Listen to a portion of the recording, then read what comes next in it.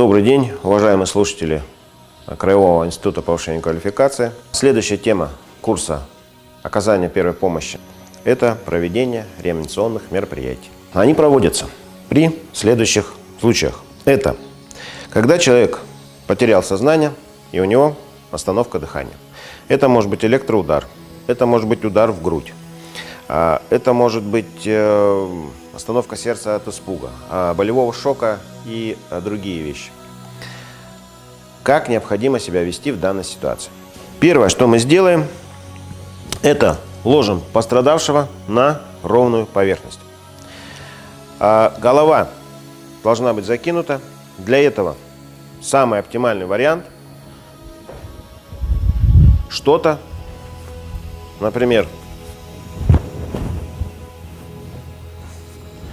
подкладываем не под голову. Обратите внимание, подкладываем под плечевой пояс, чтобы голова у пострадавшего откинулась как можно дальше, затем, чтобы проход по гортани был как можно шире и более свободен. А далее, что мы делаем? Мы освобождаем, расстегиваем все, что мешает дышать. То есть это может быть рубашка, галстук, это может быть э, ремень, это может быть бюстгальтер расстегиваем. То есть а, делаем максимально так, чтобы грудная клетка дышала без каких-либо стеснений. Нам необходимо убедиться, что человек не дышит, что человек, э, ну, у него не работает сердце. Как мы где-то делаем?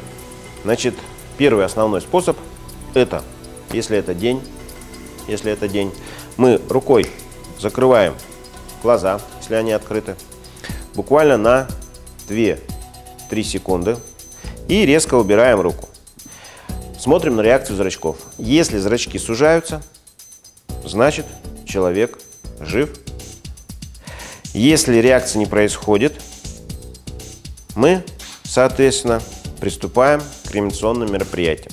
Раньше в рекомендациях Э, способы, которыми мы могли определить, жив человек или нет, это, например, было зеркало. Э, то есть мы подставляли его к ротовой полости, и если оно запотевало, человек дышал. А в рекомендациях новых этот пункт убрали. А почему? Потому что объяснили, что якобы есть остаточные явления, и на этот пункт полагаться не стоит. Кроме того, раньше можно было бить человека по щекам. Теперь этот пункт тоже убрали и применять его не следует. Поэтому у нас остается первый способ – глаза. Второй способ – это визуально смотрим на грудную клетку, двигается или нет.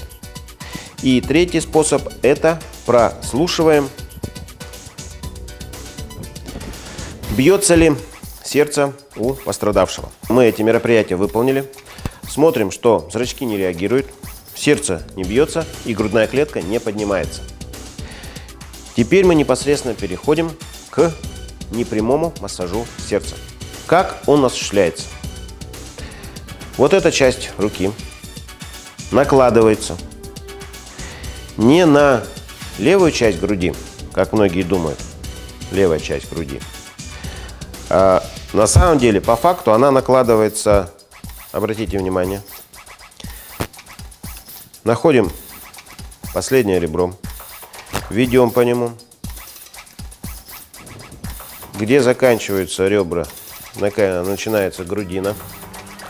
А от этого места два пальца вверх и два пальца таким же образом влево.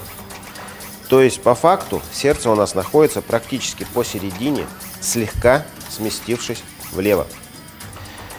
Не здесь, не здесь, не внизу, а именно, именно вот здесь. Накладывается рука вот этой частью, вот сюда. Вторая рука накладывается сверху. Можно так, можно так, как вам удобно. Значит, работают у вас не руки, а работает у вас туловище. Это делается для экономии энергии, потому что кто этот процесс делал, кто с ним соприкасался напрямую, знает, что энергии тратится очень много. Но прежде чем приступить к искусственному массажу сердца, нам необходимо сделать вдох. Как он делается? Эта часть руки накладывается на лоб. Два пальца зажимают нос. И делается полный вдох, полный вдох в ротовую полость пострадавшего. Желательно эту полость накрыть либо марлей, либо бинтом, но платок, например, рубаху следует исключить. Потому что прохождение воздуха будет затруднительно, и пострадавший не будет получать весь тот воздух, который вы будете ему дувать в легкие. Значит, еще раз повторим. Правая рука накладывается на лоб, пальцы зажимают нос и делается вдох. Делается вдох продолжительностью примерно полторы секунды для взрослого и около секунды для ребенка. А второй способ.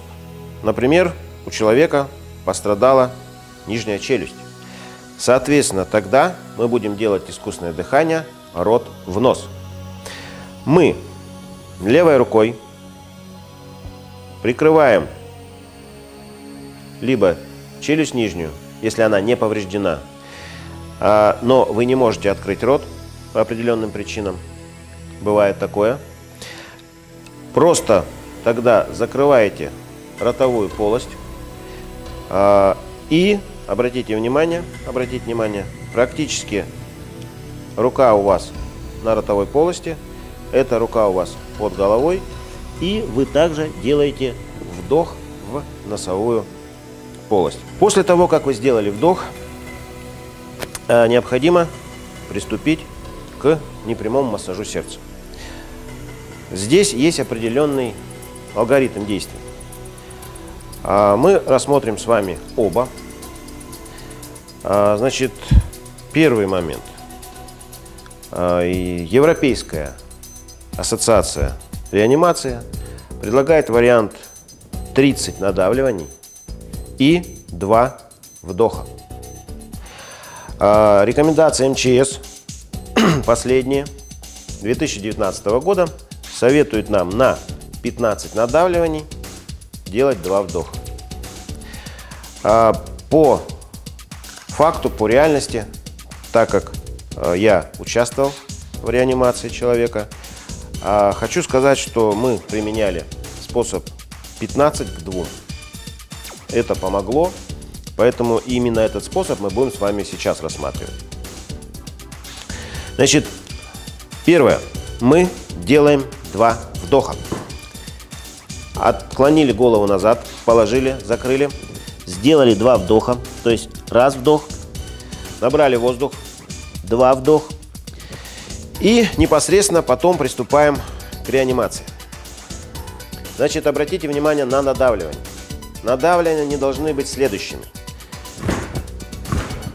Вот такого жесткого давления на сердце, как мы видим здесь, например, подросток, ребенок быть не должно. Почему? Потому что вы, скорее всего, сломаете ему ребра, но также не должно быть и легкого надавливания. Вот такого. Вы должны сопоставлять свой размер, свою силу э, с телом пострадавшего. Соответственно, если это ребенок, значит и давление у вас должно быть меньше. А, если это подросток до 9-10 лет, значит здесь все-таки рекомендую делать одной рукой. Если это взрослый мужчина, ну, соответственно, если это женщина, то тогда все-таки двумя руками. Значит, обратите внимание, не руки работают, работает тело. Мы, когда, обратите внимание, уходим вниз, мы задерживаемся на примерно секунду. Отпускаем.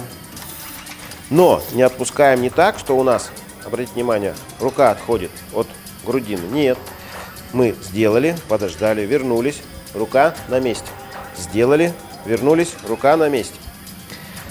Значит, продолжая реанимационное мероприятие, каждые примерно 2 минуты мы прощупываем пульс на сонной артерии, либо на бедренной артерии. А здесь, здесь пульс не прощупывается, если человек без сознания. Поэтому повторяю, это либо сонная артерия, либо бедренная артерия. Прощупывайте пульс. Прощупывайте пульс. А, значит, если, если через 30-40 минут сердце человека вы не смогли завести,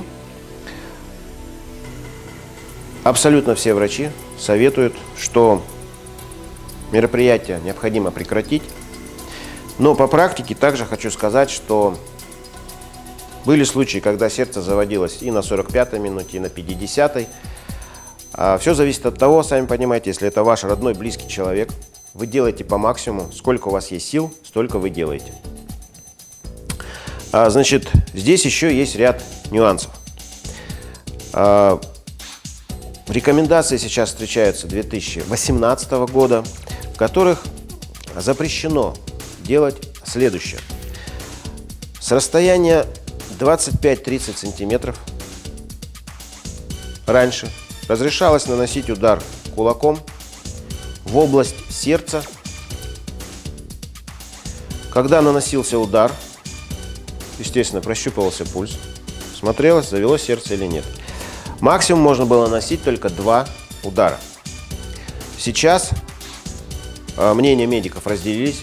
Кто-то рекомендует это делать перед тем, как э, начать реанимацию. Кто-то это рекомендует делать через 20 минут после того, как вы начали реанимацию.